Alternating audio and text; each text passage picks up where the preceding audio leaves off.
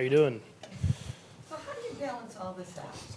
Going to the Super Bowl for the first time, knowing there's distractions, hearing what everybody says, yet keeping that laser focus, get ready for the 49ers. Yeah, I think I think the biggest thing is in these first few days trying to get everything settled as far as getting family and friends at the game and everything like that, and getting them the tickets squared away, hotel rooms and stuff like that, and so that now going into the week I can really focus in on the game plan and doing everything. And obviously I've already watched film Monday, Tuesday, and stuff like that, but uh, getting my family squared away first, and then now I can really just focus in on on doing what it takes in order to win it.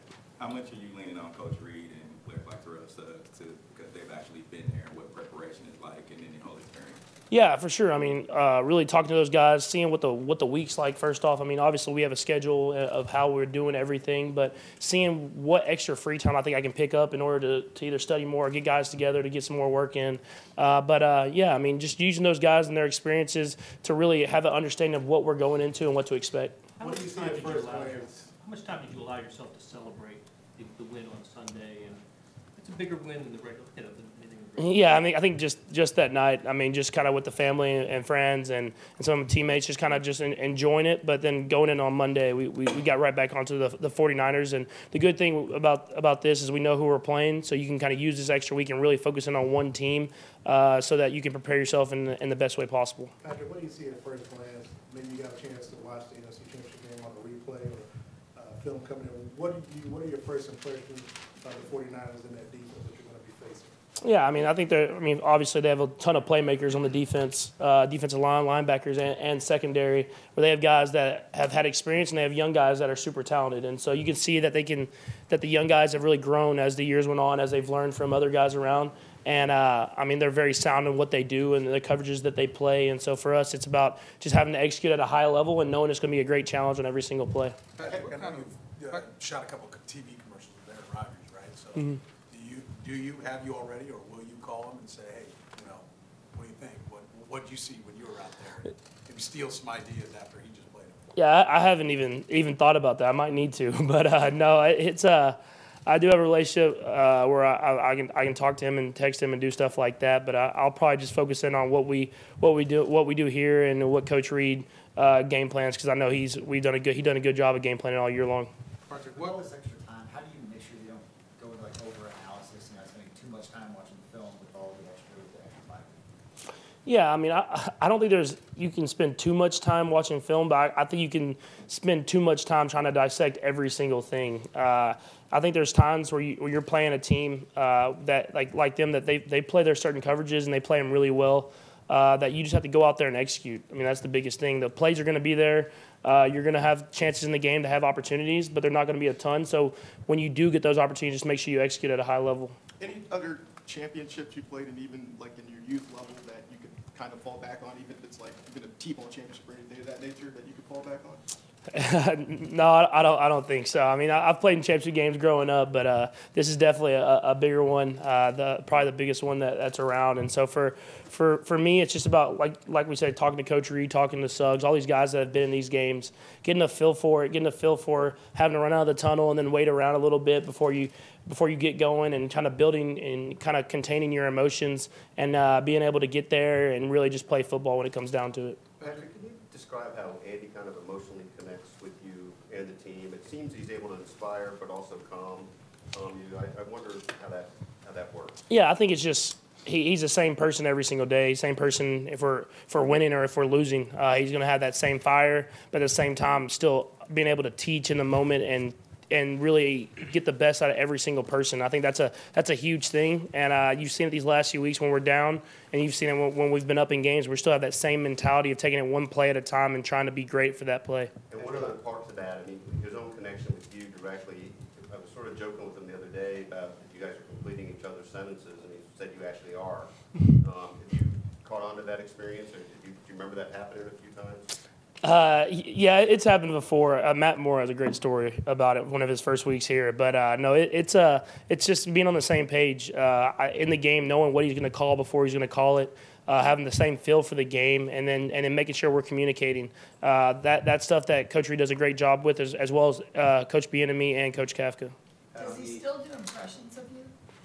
Yeah, every once in a while he'll, he'll throw it out there still. So he, he, he keeps the, the, the room uh, alive, I guess you would say, and making sure that you know that uh, he can still throw a joke here here and there, even during a week like this. Patrick, on the touchdown to, to Sammy, it, it seemed like you were evading pressure right in your face and somehow still managed to, to look down the field. It's just like incredibly rare. Is that something that you've been, always been able to do, or is that something maybe you've worked upon? Like, what's the key to that? Yeah, I think it's, it's something that I've always done. Is whenever I'm I'm scrambling, keep my eyes downfield. I've never been the the fastest guy, so I, I've always wanted to get to guys like Tyreek and Mecole and Travis and all these other guys and Sammy.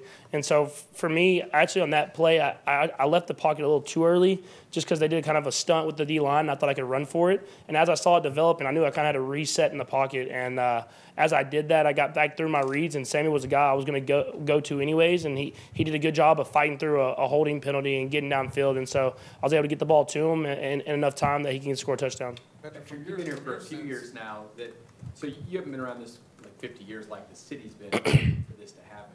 How do you guys guard against winning on Sunday not being the destination? You know, that you, that you have one more game and not let that part creep in, because there's such a celebration around here because it's been so long.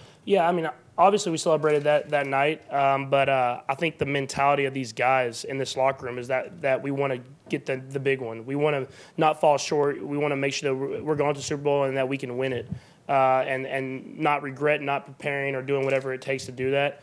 And uh, I think as with the guys in this locker room, we're going to take advantage of every single day. Uh, it's a it's a long build uh, for these next week and a half or whatever it is, but we're going to build every single day of just taking advantage of it and, and hopefully getting there and playing our best football and trying to find a way to win the football game. When do you think it's gonna hit you that you're actually there? Will it be when you, you know, get off the plane Sunday or opening night at, at Marlins Park that we are here in the Super Bowl? You know, get, getting a chance to actually enjoy it before obviously you have to switch your mind to get back to work.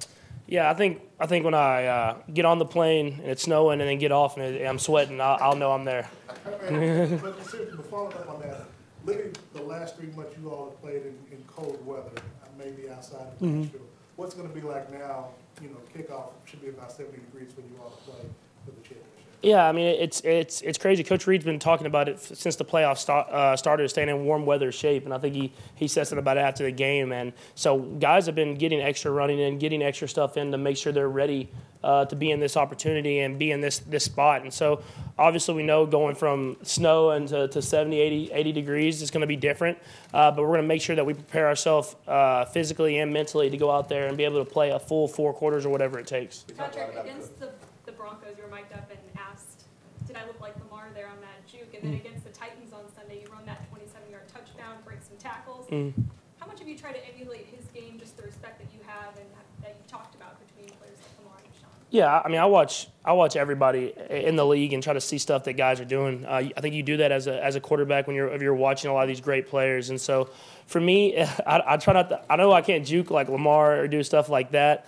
Uh, but I, I feel like I can't extend plays. And when I, when I watch similar opponents, like I will watch with Lamar playing the 49ers and seeing how he could extend plays, then I know that that's some stuff that I could take away. But uh, I obviously can't run at the, the same agility or speed that he can. We talk a lot Couple about, more, guys. we talk a lot about Andy uh, getting a Super Bowl, but Travis been at this for seven years. Uh, Just what's the sense that you get of just how bad he wants this, given the success of his brother and and just going through Alex and so on and so forth? Yeah, I mean, Travis, uh, he's played a, a lot of great football in his career, uh, and I mean, I know he's super excited to play in the in, in the Super Bowl and get a chance to play for it.